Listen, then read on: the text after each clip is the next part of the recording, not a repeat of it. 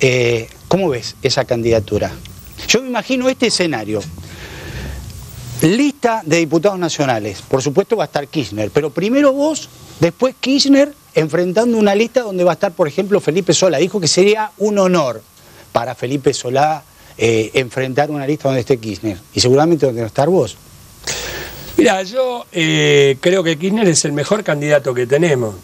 Después habrá que valorar si vale la pena jugarlo o no. Alguno puede llegar a decir frente a esto, porque no tienen otro. Pero bueno, eso no, digo. No, tenemos otros, Sergio Massa, Daniel Scioli, Alberto Balestrini. Sí, son, todos, tienen todos cargos. Bueno, no importa, pero son excelentes candidatos, digo, este, gente muy importante. Pero está bien ese, lo que me estoy imaginando, esa lista.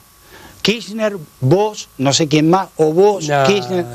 No, no, mira, yo tengo en la sociedad argentina este, mucho experto en, demo, en demonizaciones, ¿no? Sí. El demonio negro de la Ferrere, conurbano, suburbial, no puede formar parte de listas porque, viste, este, los negros siempre somos sospechosos. Este, en cambio, por ahí las listas están, pueden ser más para figuras blancas, híbridas, escuálidas, que después no hacen un carajo ni cambian nada, pero este, eh, parece que la más media, el estereotipo de, del político que buena parte de la sociedad tiene en la cabeza, es eso, ¿no?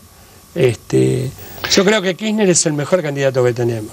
Es el mejor candidato para afuera porque consolida y amplía nuestra victoria y es el mejor candidato para adentro porque genera unidad y además es garantía de equidad entre Sí, pero también genera un lío bárbaro teniendo en cuenta que es muy difícil poder asociar a Kirchner con la provincia de Buenos Aires. ¿sí? Bueno, pero todos es así, digamos. Bueno, entonces este, eliminemos. Fernández Mejía, No, pero está bien, pero, pero bien, pero estoy de acuerdo. La pero, lista. pero hagamos una cosa, eliminemos, el- el- eliminemos la residencia como uno de los requisitos para poder ser candidato. Me parece que definitivamente habría que hacerlo, distrito único, todo el país. Habría, habría que analizar bien, pero digo, eh, a ver, la provincia de Buenos Aires, más del 50% del padrón es gente Sí. que no es nacida en la provincia de Buenos Aires.